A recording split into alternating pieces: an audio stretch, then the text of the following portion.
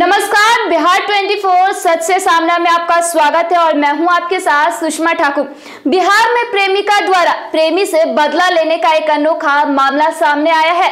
घटना राज्य नालंदा ज़िले के भागन बिघा थाना क्षेत्र की है, जहाँ प्रेमी की शादी से नाराज़ उसकी प्रेमिका ने घर में घुसकर नई नवेली दुल्हन पर हमला बोल दिया।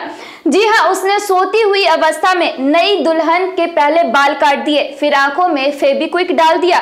घटना के बाद दुल्हन द्वारा शोर मचाया गया, जिसके बाद परिजनों ने प्रेमिका को पकड़कर जमकर पीटा और पुलिस के हवाले कर दिया। दूल्हे की बहन की दोस्त थी प्रेमिका। घटना नालंदा के भागन बिघा थाना क्षेत्र के मोरा तालाब गाँव में घटी।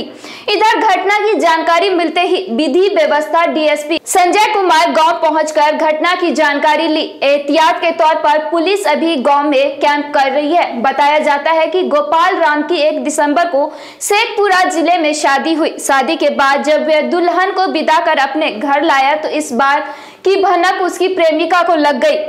उसकी शादी से नाराज़ थी। इसके बाद उसका गुस्सा सातवें आसमान पर चढ़ गया और बदला लेने की नियत से वह प्रेमी के घर जा पहुँची। सभी के सोने तक करती रही इंतज़ार। चूँकि दूल्हे की बहन से उसकी दोस्ती थी, इस कारण किसी को शक नहीं हुआ।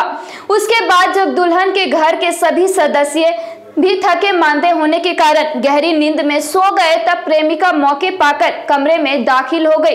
दुल्हन जब सोई हुई थी, उसी दौरान लड़की ने बाल काटने के बाद उसकी आँख में फेबिक्विक डाल दिया।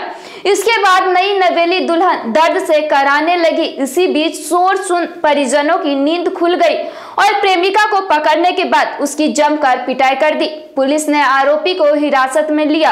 इस घटना की सूचना किसी ने पुलिस को दी। पुलिस मौके पर पहुँची और युवती को हिरासत में लेते हुए इलाज के लिए बिहार शरीफ सदर अस्पताल में भर्ती कराया।